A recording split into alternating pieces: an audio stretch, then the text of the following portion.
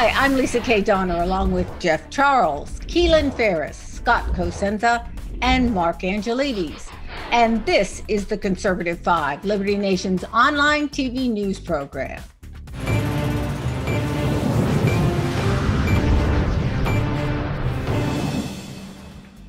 It seems the U.S. Supreme Court has decided to keep us hanging on. They have said they will take up two key issues this coming term abortion rights and gun rights.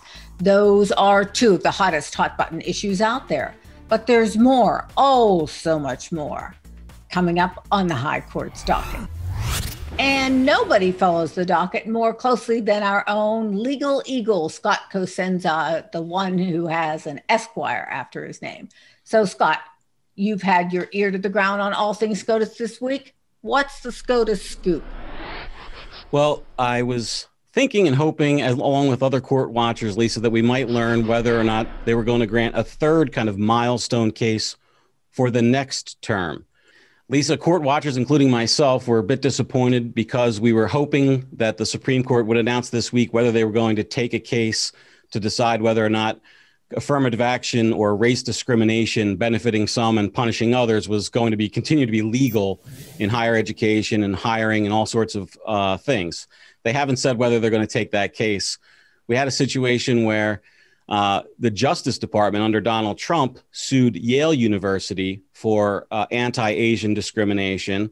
And that was seen as a vehicle to try to get race-based affirmative action and discrimination before the Supreme Court, you know, to decide for all Americans. But the Biden administration put the kibosh on that two short weeks after they uh, they they took office. They they love their racial discrimination. So. Uh, what we're now waiting to see is if they will take the case. We have those abortion and guns cases uh, that were taken, and we know that because four justices need to vote yes to advance a case to be included on the court's docket, that's what it will take. And if we do see it, in the affirmative action case, along with the abortion and guns case as well, conservatives are very happy with that because they think that it means that the conservatives on the court are looking to move these cases forward with a result that will please conservatives.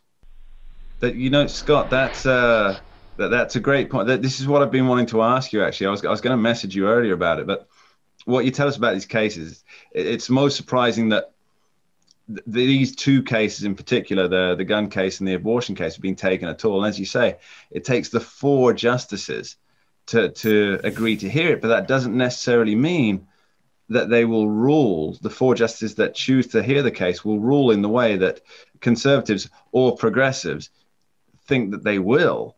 I mean, this is quite clear. This is probably Trump's most lasting legacy here, uh, unless, of course, there's a second act coming down the line that, uh, that there are the conservative justices on the case, but we don't actually know which justices chose to hear these cases. It, it might have been a clean sweep of nine, or but it has to be a minimum of four. Oh, wait, but I want to I want to ask Scott a question, if I may. Um, Scott, do you think that the four justices that chose to hear the case on uh, abortion and guns were Thomas Alito, Gorsuch, and Coney Barrett? Do you think that was those four? Yes. Yeah, that's what. All right, so they don't publish, they don't tell you who voted. No. Is that right, Scott? That's that's correct. So who votes to advance a case to the court's docket, right? So the there are many, many thousands of people who want their cases heard by the Supreme Court. Only a hundred or so get lucky enough to have that case picked up. They vote themselves which cases they're going to hear of those many applicants. Minimum of four justices to get on the docket. They never publish with who the four are. Justices may in the future at like sometimes you'll see it like an academic conference. Though they might mention if they voted to advance a case forward, but it's not like it's a published uh, uh, document or record. I think that what we're seeing here this is why the left went so hard against Kavanaugh and Amy Coney Barrett. This is why they trotted out people to accuse Brett Kavanaugh of, of sexual assault. This is why they went so hard against Neil Gorsuch even before he was announced. Like th- th- this is the, when when Obama said elections have consequences. These are the consequences, and really, these are cases that should be taken up. So I'm I'm glad that it's happening. It like Mark said, it's not a guarantee that it's going to go the way that conservatives want it to go, but there's a much better chance of it happening if the court had remained the same and Trump hadn't appointed who he appointed. This is why they're trying to uh, undo the Trump legacy in every possible way, which I think we're talking about later on the show. But uh, Sheldon uh, Whitehouse, Sheldon Whitehouse, a U.S. senator who's on the uh, um, Judiciary Committee, has made it his his kind of mission in life since November to to sort of frustrate the court because of Donald Trump's appointments. I just saw a story today where they've now uh, asked the um, I'm trying to remember U.S. Marshal Service. I think the people who are in charge of guarding and transporting Supreme Court justices for their security. Uh, Tommy Lee Jones, right? They uh, no, that's something else, Mark. Um, you continue your search for the one-armed, uh, the one-armed killer over there. Uh, and what they've Speak asked the Richard for, Kimble Foundation, if you feel you've been found guilty for a crime you did not commit. Okay, we're talking about the fugitive, Keelan. So probably 20 decades before you, you know, are even born. Power. Go ahead. I uh, I'm interested to see how the media is going to spin this when uh, ne- the next session comes. I think when Amy Coney Barrett was, uh, you know, selected by Donald Trump, a lot of the media spun that you know Roe v. Wade was going to be overturned, and I wonder if you know once we get to this case, the media is going to spin this as, oh my gosh, we're going to lose Roe v. Wade. Um, they're not going to allow abortions anywhere in the country anymore, which is not what this is about. So when people apply to the Supreme Court, they state a question presented. So the they suggest that the court should say, we're going to take this case to answer the following question presented. For instance, in the Harvard uh, Asian affirmative action racism case, the question presented that the petitioners wish the court to accept is whether or not the Supreme Court's own previous rulings are constitutional in allowing race based discrimination, right? Well, the Supreme Court can take the case, but then tweak or tailor the question presented. So you have to look at both things to decide where the court may then go in the future with their ruling. And in the abortion case that's going to be heard in the fall, the question presented is whether or not a state can enact early term restrictions on abortion pre viability. So that might lead them to an, a place where they could actually overturn Roe. Uh, this is animating both uh, liberals and conservatives, you know, the, on on either side of that issue. But but I think it's fair to say that the Supreme Court has been, you know, really a disappointment to a lot of conservatives. I mean, we've got a lot of conservative judges on there, and it seems like when it's time to step up to the conservative bar, you know, they're not willing to do. What do you think, Jeff? Yeah, I mean, if there was any time where the Supreme Court was not going to be a disappointment to conservatives, this is probably the best chance we've got here. I mean, and and, and these are only two cases. That there there will be more coming down the road. Again, the legacy of what Trump did with the court is going to keep going. And, and I'm with Keelan. I'm looking forward to seeing how the Democrats and the media react to it because I, I you know, I like a good laugh. I, we all like a good laugh. I watch stand up, but I also watch the way Democrats freak out. You know what I you know what I can't wait to see?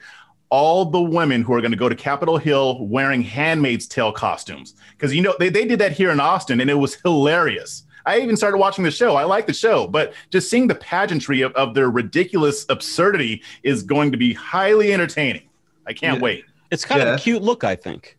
Sorry, Jeff. Yeah. Funny you mentioned the Handmaid's Tale a lot because uh, I, I, was covering the um, uh, the, the protests in, in the UK uh, a couple of years ago for LibertyNation.com.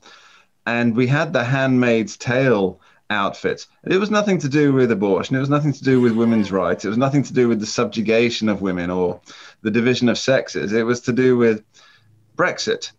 And yet people thought, well, you know, this is such a great outfit. I mean, I love the book. I think Margaret Atwood is, I, I think she's my, my favorite female writer. Uh, I think she's fantastic. But the, the Handmaid's Tale had nothing to do with Brexit. It's just an excuse to dress up in this in this wonderful dystopian outfit. Uh, and I wouldn't be it, it, wouldn't surprise me if you saw that coming in for the for the anti-gun marches, for the anti-farm aid marches, and people will just wear that stuff because it's a great costume. Yeah, I think they just like wearing it at this point. The honestly. I don't Handmaid's think it, Tale- it, it doesn't even mean anything anymore. The Handmaid's Tale is the new black. It works with everything. Can you give us a little synopsis on the gun rights case that they're looking into?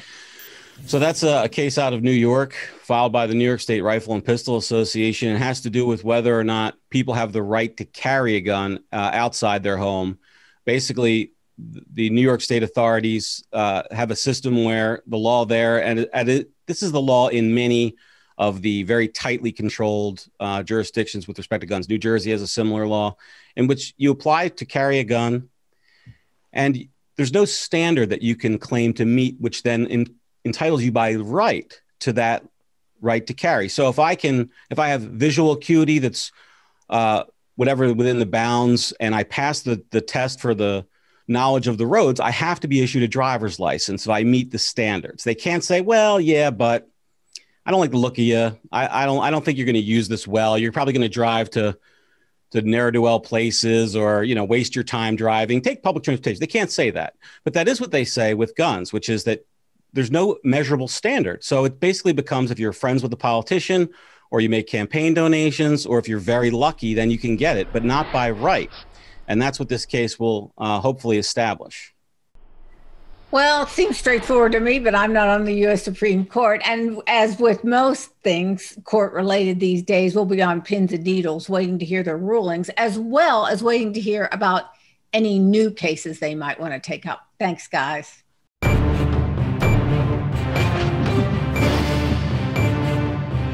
For our Conservative 5 panel today. Check out our other C5 shows and segments on your favorite video platform YouTube, Vimeo, Rumble, we're on them all. As well, Liberty Nation has its own Roku channel where you can see all our TV productions. Thanks so much for tuning in. And remember, surf on over to libertynation.com. Sign up for our new member zone, just $29.99 for the year. This has been a production of libertynationnews.com, conservative news where truth matters.